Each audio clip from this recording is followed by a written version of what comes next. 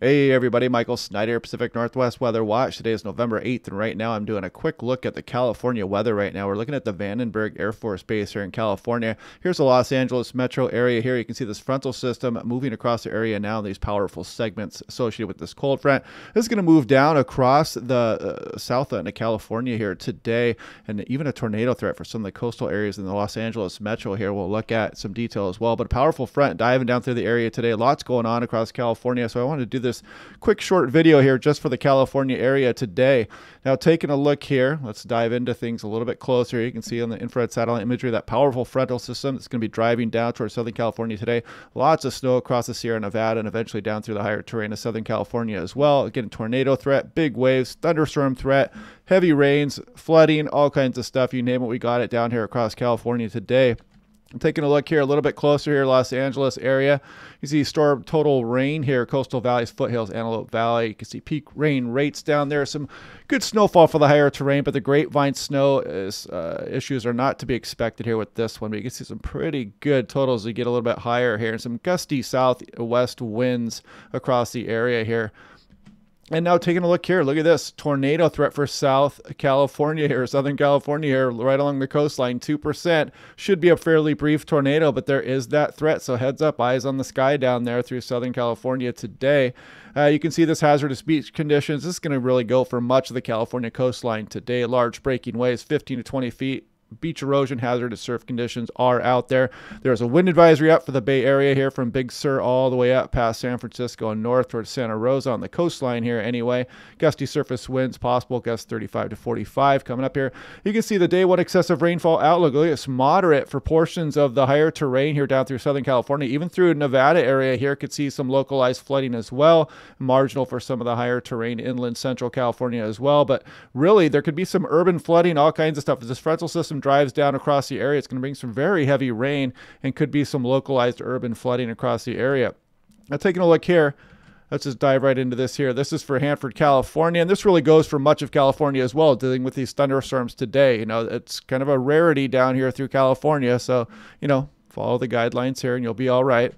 Now, taking a look here, dangerous travel. Can't uh, really uh, focus on this enough. It's, a lot of travelers get stuck going across the Sierras here because they're not used to this kind of weather a lot of times.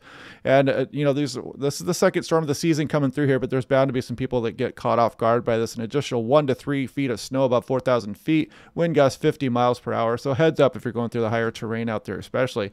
This is looking at the NAM 3KM. Here goes this powerful frontal system driving down across Southern California today. And this is what's going to bring that tornado tornado threat as we go through the afternoon and evening hours, mainly across the area down here. But you can see thunderstorms are going to be a threat through much of California here this morning, uh, central Southern California this morning, on through this afternoon and evening as we go. And again, big snow totals for the higher terrain as this frontal system moves through.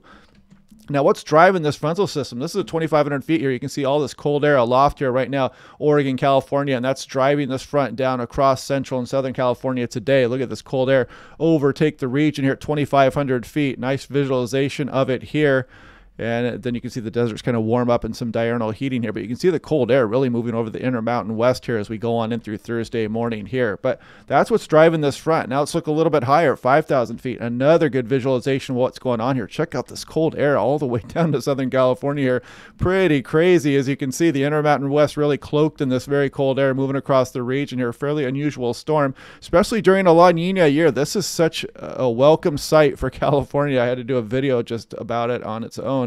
Taking a look here, 10,000 feet, NAM 3 km. You can see the cold air starting to move down, but the really cold air is right here off central California here. As we go through, you can see this really overtake the region at 10,000 feet, just shown quite nicely here across the region. And you can see that kind of kick off to the east, going to affect the Intermountain West here, and then move on through the Rockies and out towards the plains where it may cause some winter weather conditions out there as well, maybe even a blizzard.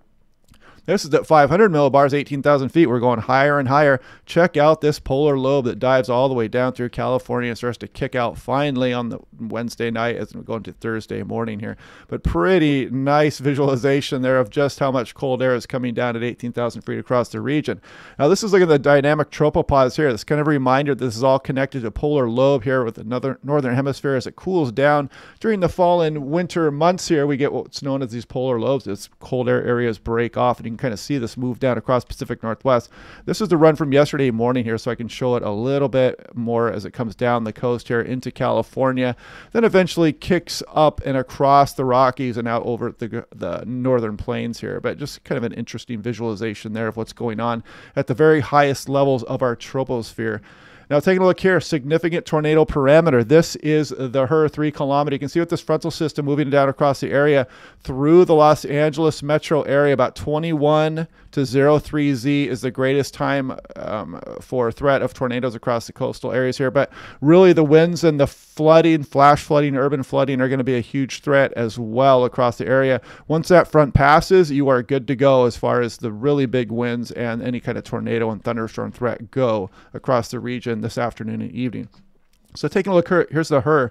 So what's going on? You can see as we go through the afternoon, all the cape that builds up along the coastline here and pushes inland across Southern California into the valley as well. So really can expect thunderstorms really Central California all the way down and mainly associated with that frontal system as it slides south this afternoon and evening.